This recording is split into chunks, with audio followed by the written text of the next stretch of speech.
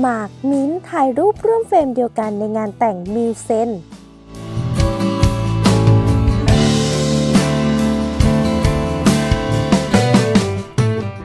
เรียกได้ว่าเป็นงานแต่งที่อบอุ่นแล้วก็อบอุ่นไปด้วยความรักจริง ๆ เลยละค่ะสำหรับงานแต่งงานของนางเอกสาว มิวนิษฐาและไฮโซเซนต์ ซึ่งถึงแม้ว่าจะผ่านงานแต่งมาแล้วนะคะ แต่ก็ยังคงมีภาพควันหลงต่างๆ มาให้แฟน ๆ ได้ชมกันอยู่ต่อเนื่องเลยละค่ะ อีกหนึ่งโมเมนต์ที่หลายๆ คนนั้นจับตามองของงานแต่งงานมิวเซนต์นะคะ นั่นก็คือ การกลับมาพบกันอีกครั้ง ของอดีตคู่จิ้นหมากมิ้นต์ที่ก่อนหน้านี้เคยมีปัญหากันอย่างที่หลาย ๆ คนทราบกันดีอยู่แล้วละค่ะ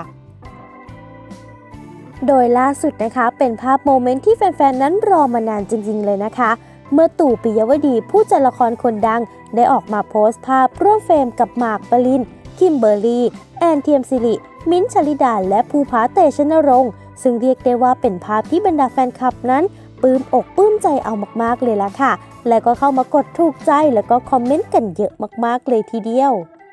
แถมหลายคนยังบอกอีกนะครับเป็นเสียงเดียวกันเลยว่า ภาพนี้ดีต่อใจสุดๆเลยล่ะค่ะ อยากเห็นคู่นี้มาร่วมเฟรมกันมานานแล้วแถมยังแอบมีโมเมนต์ฮาๆ เพราะว่าคุณตู่นะคะได้แซวว่าทำไมหนุ่มหมากทำหน้าแบบนั้น ซึ่งเจ้าตัวก็ได้เข้ามาคอมเมนต์ตอบกลับด้วยค่ะว่า พี่วิน วงเล็บ วิน มาวิน แย่ครับ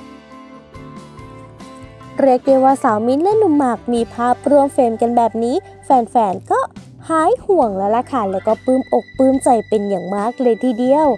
และแน่นอนนะคะว่าถ้ามีความคืบหน้าอย่างไร ทางเราก็จะรีบนำมาอัปเดตให้เเพื่อนๆได้คอยติดตามกันทันทีเลยล่ะค่ะ อย่าลืมกดไลค์ กด Subscribe กับช่องของเรานะคะ ทุกคนบันเทิง เพื่อที่จะได้ไม่พลาดข่าวสารที่เรานั้นนำมาอัปเดตให้เพื่อนๆได้คอยติดตามกันค่ะ